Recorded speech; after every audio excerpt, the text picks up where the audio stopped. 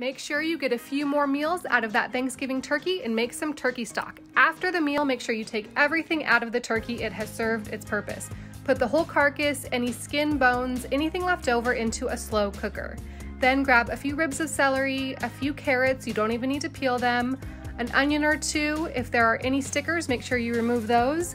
And you can keep a veggie scraps bag the whole month as you're chopping celery, carrots, or onions the whole month. Keep it in the freezer and just throw all of that in as well to make use of your veggie scraps. Break anything that needs to fit. Then add a small handful of parsley and if you have it, a little bit of fresh thyme.